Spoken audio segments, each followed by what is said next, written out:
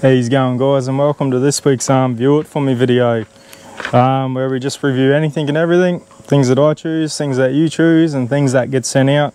And like all the videos, if I get something sent out I'll let you know. This is one that has been sent out. So uh, it's the EcoFlow Delta um, and it's a power pack like a solar generator. So like all I'll get rid of the boring stuff first um, sizes and all the specs and, and things like that and we'll see what this bad boy can actually do. I'll measure it in its bag, it's, it's the same size, it's not going to make a difference but so across um, we are about 410 across, width is about 220, height 200 and say 80. The weight of this bad boy is about 14 kilos, has a 24 month warranty. The size of it is um, 1260 watt hours, so equivalent to uh, amp hours would be about 105, give or take. So I'll open her up and I'll show you what comes with it. Um, I don't mind the bag, I like it because like I said, I can, what what I use with it packs into it. Um, so what comes with it, obviously all your paperwork and stuff like that your I think the warranty card like I said 24 month warranty. AC charger lead. Bonus with this thing is there's no brick. It just plugs straight into it. And your DC charging lead for your car. Your car and your solar charger lead are two different things. It doesn't come with the solar lead. Uh, you got to get that separate but it does come with your charger lead for your car. So it has your three different inputs um, ways you can charge it. So you can obviously charge it one with your AC charger. Two, you can charge it with your car charger. You can plug it into your vehicle as you're driving. The other way is your solar input. So you can charge it from solar. There's some of the specs on ways you can charge it. So we'll start off with the um, AC charger. So it has a max charge of um, input of 1200 watt so this thing can go from zero to 80% charge in about an hour. And I think the rest of it, so all up, is about an hour and a half it can charge in, um, which is, yeah, pretty, pretty quick. Just has, has its advantages and it doesn't also, but I'll get to that. So you, you know, you might get away with not having to um, have a solar or a car charger. You might get away if you just want to use it for a day or two. Um, it may run your fridge for that long, depending on, you know, where your fridge is located. If you got it in the shade and, you know, helps it out down south, I reckon it'd have no troubles, especially in the winter time. Um, but, you know, up here right now is it was when you realise if your um, power system's enough to, to cope because going from down there and coming up here, worst possible time for solar and everything because it is hot sun might be good and, and blasting away but yeah they just once it reads a, um, reaches a certain temperature the old solar efficiency isn't as good. So that's probably something to keep in mind. But yeah um, definitely a quick charger really fast charging from AC car charger. So drops down a bit with your car charger. Can any I think it's about I maxed it out about 98 watts um, which is not a great deal. And if this thing's down to, which it did, down to about 60%, takes a real long time to charge it with just your um, car charger. Maybe if you're down to about 80%, might be efficient enough for you to plug it into your um, 12 volt charger if you don't have a solar or access to an inverter big enough for mains power to charge it from AC. So, but still handy to have. If you're just driving in the car and you want to plug it in, you've got a big day's drive, still handy to have, helps out. Most efficient way of charging it, other than the AC charger, would be solar input. So solar input, you have a max of uh, 400 watt solar at 10 amp. Um, voltage is good, it ranges from, I think it's 10 to 65 volt um, that you can put into it. Another good thing is you don't have to have their solar panels. You can have any solar panel. You just need the right lead, which is has the same um, plug as that on one end, and then the other side just goes to your two, um, oh, what are they called? The MC4s, I think they are. These two solar panel clibbies. so, and then you can run any solar you want. Um, any, only one downfall I felt about the, the leads this one's probably not too bad because it's only about 100 watt max anyway, but it's the same same thickness for your um, solar lead. And if you're going to run 400 watt of solar through a lead, you know, yay, small, it, I just thought it was a bit bit of an underkill. It'd probably be good if they had a bit heavier gauge wire. You know, I'm sure they've done their homework, but um, just from my experience, I like having heavy leads, especially I like to run long distance. So the heavier the better because there is voltage drop. But yeah that's that's just my opinion as well. But it does work. I have had it on solar. The lead that it comes with is only a short one so this really had to be out with the solar panel as well which is probably not the best thing because you don't really want to worry about it being in the sun. Um, you'd rather have it tucked away hiding so i'd rather have an extension for the solar. So that's just uh yeah something to jot down as well, which they do sell extensions, um, longer leads, um, but I can't see it being too hard to make if you just got their solar lead as a um, patch lead, make up your own extension, that might be an option as well. The most efficient way to charge it other than AC is definitely solar. How much solar would I go for? I would definitely go max input. I have been running it and just I've only got a 160 watt panel but I've got another one coming it's it's it's their actual panel as well. It's an EcoFlow panel. Like I said, you can run any panel with it. Uh, I just like their panels. They are good and they are waterproof. Some aren't waterproof and these ones like a fold up ones.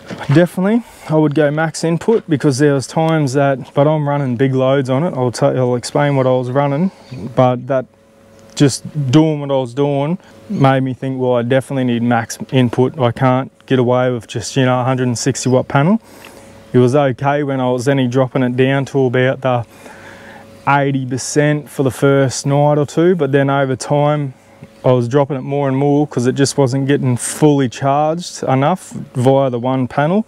So I would definitely go max input, which is your um, yeah 400 watt or 65 volt. Um, so as long as you don't go over your voltage, you know, you're, you're, laughing. If you have more solar, it doesn't matter. It can any handle the 10 watts. So after that, it just will, it won't do anything. Uh, 10 amps, sorry. So after it gets above that, it just can't do anything with it. But as long as you're, you're in your right voltages, uh, it does have the obviously built-in um, solar regulator. Get unregulated solar panels if you want to plug into it. That's one thing I should mention you don't want a regulated panel, this already has a regulator built into it, so you can just run your solar panels straight into it. And yeah, it, do, it does the rest. Does a good job at that too. So this thing has an AC output of 1800 watt, which can run a lot of things and a surge of uh, 3100 watt. It is a pure sine wave inverter as well, so you can charge laptops and all your sensitive sort of, sort of things as well but it has an 1800 watt output of it. I've been running an induction cooker and it's it's been going really good. It, I've cooked meals, like I've cooked full on meals like chicken, chicken being the longest because it takes the longest. I've done pastas, you know, so you got to boil your water for your pasta, then cook your mince and everything. Easy things are sausages, long steaks, anything like that. It's just when you're doing meals that you have to do your pasta or rice then plus your mains. That's what takes it out of it and that's what um, was dropping it down below the 80%. Other than that, your snags and stuff like that, it wouldn't drop below that. The only problem I had was over time with not having enough solar, it would slowly drop down on me. So that's been, like I said, I figured you need max solar for what I'm doing anyway. That's for what I want to do with it. It just, being able to run an induction cooker saves me a lot of hassle with your gas and stuff like that. So, well, this is, is definitely a trial and error. We have got four inputs, AC inputs. Plus down the bottom, we have a, a um, like a cigarette plug. And run your fridges. Uh, it is regulated too. Some of these I know aren't regulated, but this one is regulated. So you don't got a problem if it reckon any uh, appliances that you plug into it. Say lights, fridges, whatever you want to run off that. It has a 1260, uh, like I was saying, watt hour, which is not all usable I guess because you still got to think of the functions like the fans, uh, your LCD display, it all turns off after a while to help save power but then you got you know because it's an inverter it's going to take power as well because you're converting that uh, DC into AC. Turn him around on the front. So you have your two USB-A inputs, you got two more USB-A style but fast charging inputs. Then you got USB-C down the bottom, two of them. You got your on button for all your DC power, your mains on button down the bottom of that, and also you have your on button for your AC power at the back. So you don't have to have your inverter on if you just want to use it for your um like your, your DC sort of thing so that'll save power as well by not having the AC on if you don't want to use your AC if you purely just got it for your dual battery system in your car and you just want to run your fridge or charge some of your stuff. So it has a neat little screen on the front. Turn him on you won't be able to really see it properly because I know it just flickers. But when you actually plug stuff in it'll calculate so it's like got a shunt built into it as well. It'll calculate and it'll give you an idea of um, how long it's going to run whatever's plugged in for.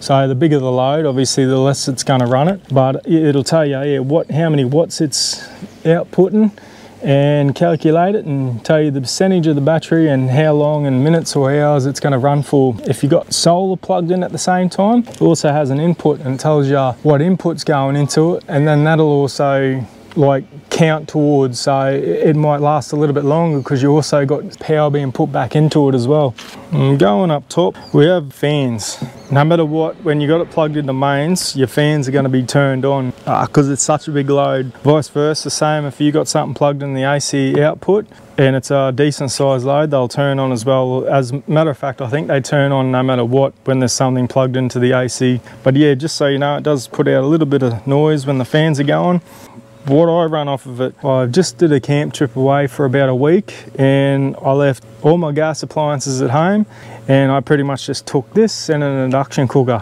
So what this did is it did me, me coffee for water in the morning. Sometimes I would cook a feed like snags or something at lunchtime and then I'd cook every nighttime meal on it. How did it go? Went like a charm um, went really well. I, I, didn't know how it was going to go because I said it's only 1260 watt hour, which is a, definitely a decent size. But when you're running loads at, I think the um, induction cooker I'm running on max output, it was chewing, I think about 1450 or so watt.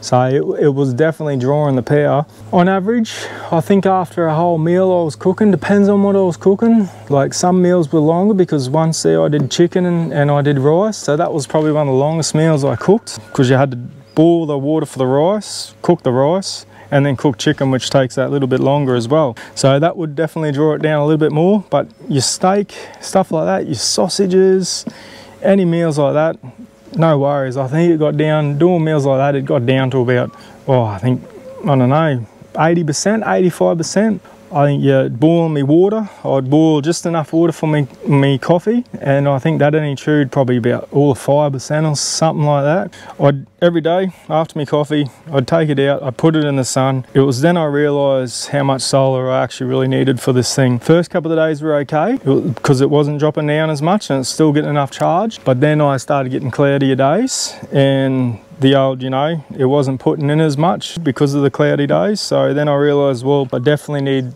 you know, if not the max input, another 160 watt panel would, would be ideal for it for what I'm using it for anyway. That's pretty much why I got something like this unit. I would like to one day soon go away from the gas side of things and just go to electric. Just gonna help me out a bit more. Um, I've got a lot to set up as it is and, and it's just practical. I'm not worried about the wind then. That's probably my biggest thing is just worrying about the wind. It's not blowing the gas around, which means it takes extra to cook the food. It's not as hot on the bottom because the gas is blowing away.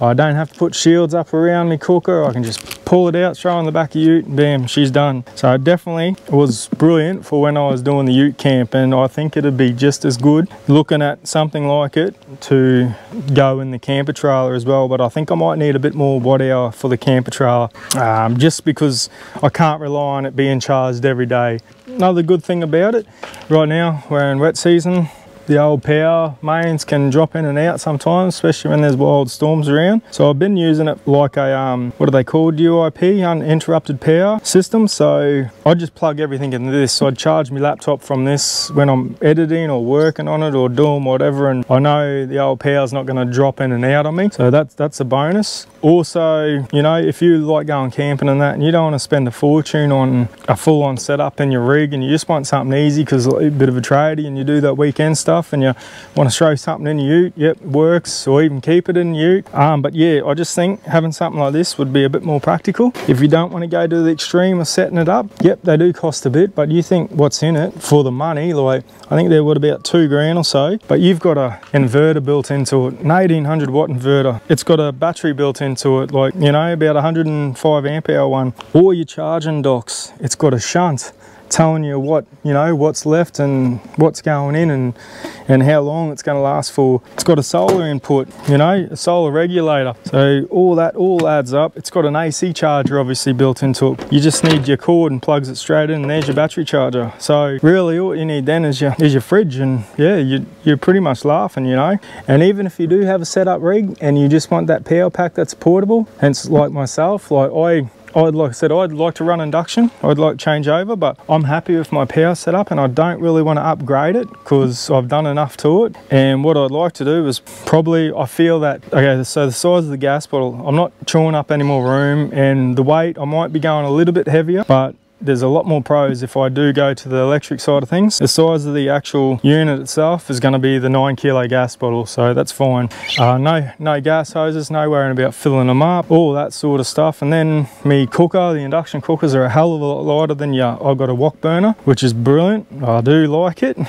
but um, yeah, the induction cookers that I run are a lot lighter. I only got the one, but it's a lot lighter than than your um, gas ones. I, um, I most likely will just go a unit like this probably a bit bigger for the camper trailer and most likely keep this for the ute. I didn't have no intention of running the ute, uh, induction in the ute because yeah, I was just going to keep it simple. But at the end of the day, I think this is going to be simpler than having me gas canisters and me, me um, cooker and all that. So that's how I'm going to run this thing anyway. But like I said, there's that many ways you can use this thing for. Probably some of the downfalls about it that I, I don't kind of like is charging so the only efficient way is obviously solar for me because I don't always have mains. And I'd like to be able to charge it from mains, but my inverter in the camper trail and definitely the inverter in my ute is not big enough to, to charge this thing for the amount of power it can chew. I'd like to have a function where you can choose your um, uh, output levels, your input levels, sorry. So instead of just having it 1200 max or whatnot, I'd like to be able to, say if you had a, a 500, then a 900, then your 1200 watt, I'd like to be able to choose the wattage and then it, it may chew a lot from my system, definitely but it's it's just another option and I can have it on its lowest setting. I can wait if me, me trailer batteries are fully charged, like, you know, which they usually are, uh, not even at lunchtime. Then I've got that excess power that I'm just losing for nothing. So then that's where this thing could come in handy. I could plug it straight in and use the rest of that power that I'm pretty much dumping anyway to uh, charge this. So that that's probably the only thing. Um, yeah, that and that and I was like I said, I was a bit worried about the leads being so thin, but they seem to do the job. That was with the one 160. It's going to be interesting to see when I got two 160 watt panels running through the same size lead. And another thing, I do want to have an extension.